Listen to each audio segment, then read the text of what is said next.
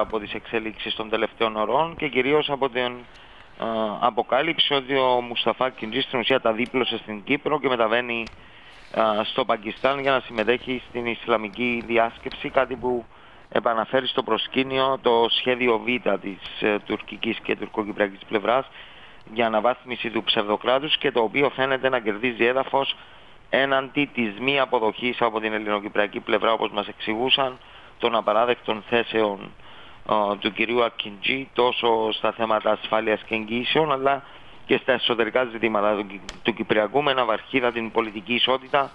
όπου ο Μουσταφά Κιντζή απορρίπτει τη μία πίσω από την άλλη συμβιβαστικές φόρμουλες που καταθέτει ε, που κατέθεσε το τελευταίο διάστημα η Λευκοσία δείχνοντας έτσι μια άτεκτη στάση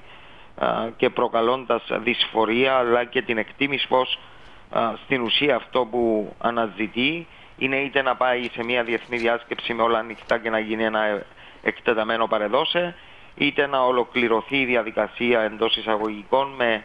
ε, παράλληλη επίρρηψη ευθυνών προς την ελληνοκυπριακή πλευρά ε, και να βάλει μπρος με τις ευλογίες της Άγκυρας στο σχέδιο Β που είναι η αναβάθμιση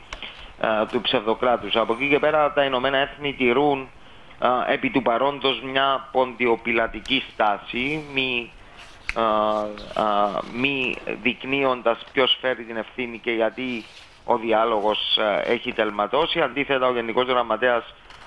χθες στη Νέα Υόρκη αρκέστηκε να πει ότι τα Ηνωμένα Έθνη είναι στη διάθεση των δύο κοινοτήτων και των εγγυητριών δυνάμεων για την εξέβρεση μιας λύσης υποδεικνύοντας την ίδια ώρα ότι είναι μια χρυσή ευκαιρία. Χρυσή ευκαιρία που βεβαίως για να είναι τέτοια θα πρέπει ο Μουσταφά Κιντζή να επιστρέψει στο τραπέζι του διαλόγου και το ερώτημα που παραμένει έολο και αναπάντητο είναι υπό ποιε προϋποθέσεις και υπό ποιε συνθήκες θα μπορούσε να επαναρχίσει ο διάλογος εάν ο κύριος Ακιντζή επιμένει σε αλλαγή μιας απόφασης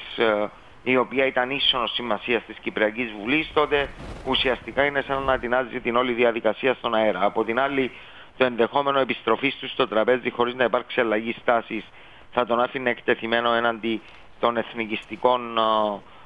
κορώνων που ακούγονται στα κατεχόμενα και είναι αυτό που προβληματίζει κατά πόσο όντως υπάρχει μέλλον και ποιο είναι αυτό το μέλλον στη διαδικασία των διαπραγματεύσεων. Ναι. Πάντως είναι ενδεικτικό, Χρήστο, ε, τη στιγμή που ενόχλησε τόσο πολύ αυτή η ενέργεια της ε, Βουλής για το ενωτικό δημοψήφισμα, ο κύριος Ακιντζή να μεταβαίνει στην Ισλαμική διάσκεψη και να μην βρίσκεται στο τραπέζι των ε, διαπραγματεύσεων. Λοιπόν, ε, σε ευχαριστώ για την ενημέρωση. Θα μείνουμε κυρίες και κύριοι στα του Κυπριακού.